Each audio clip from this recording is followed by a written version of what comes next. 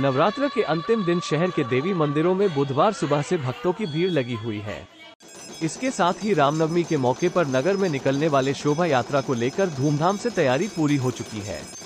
नवरात्र एवं रामनवमी को सकुशल संपन्न कराने के लिए वाहनों के आवागमन में परिवर्तन किया गया है। सुरक्षा के मद्देनजर सभी देवी मंदिरों पर पुलिस बल तैनात किया गया है।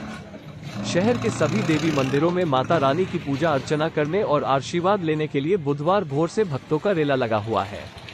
सुरक्षा के मद्देनजर सभी मंदिरों पर पुलिस बल तैनात किया गया और सीसीटीवी एवं ड्रोन से निगरानी की जा रही है।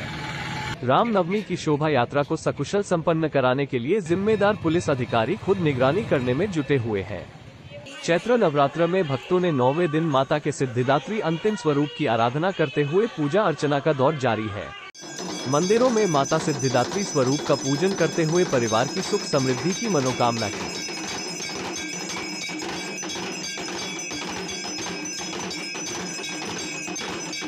मंदिर और घरों में सुबह से ही कन्या भोज का भक्तों के द्वारा आयोजन कराया गया।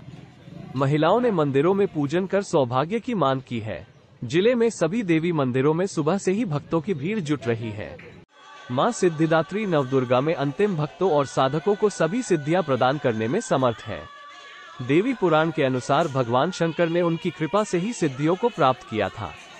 इनके अनुकंपा से भगवान शिव का आधा शरीर देवी का हुआ था।